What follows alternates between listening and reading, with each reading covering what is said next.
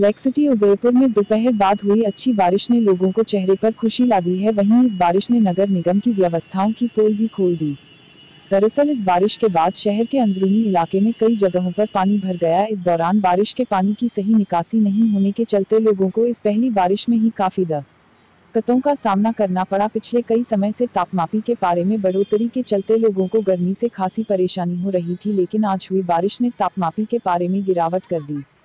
बता दें कि करीब एक घंटे तक हुई इस तेज मूसलाधार बारिश के चलते उदयपुर शहर में चारों तरफ़ सड़कों पर पानी ही पानी हो गया, वहीं लोगों को तेज गर्मी से भी इस बारिश की वजह से राहत महसूस हुई।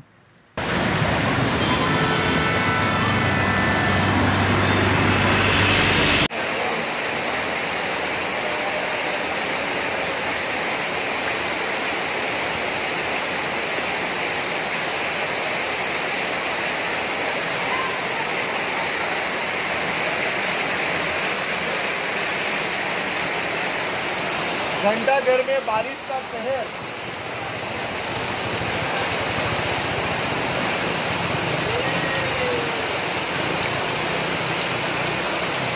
वो गई गई गई गई गई गाड़ी बहुत गई है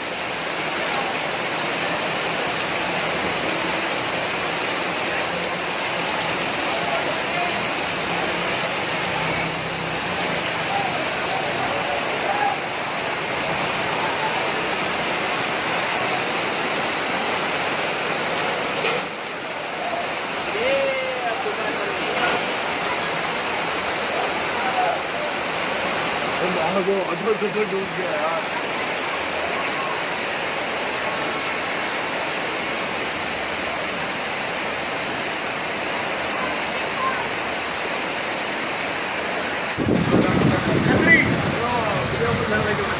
가자.